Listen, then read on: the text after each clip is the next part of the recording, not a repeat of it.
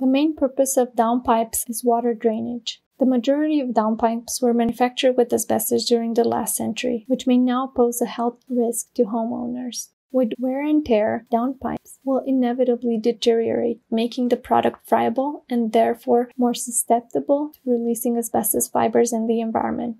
While exposure to asbestos downpipes is usually low because they are located on the outside of the house, it is still worth considering removing the downpipes if they're highly damaged and having the products replaced with new and safe ones.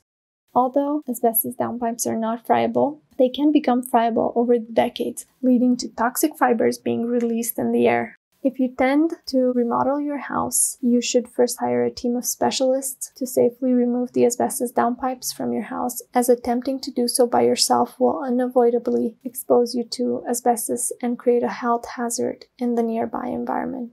The team of professionals will remove your asbestos downpipes and subsequently place the hazardous products in safety bags with a warning concerning the presence of asbestos. If your downpipes are still in good condition, it is better to leave the products as they are. They do not pose a health threat to you or your family. You should avoid disturbing asbestos downpipes in any way.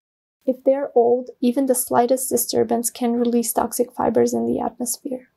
You're unsure whether your downpipes contain asbestos, you can safely collect a sample by using a respirator and send it to a lab for analysis. The professionals will be able to tell you with certainty whether the product has asbestos or not.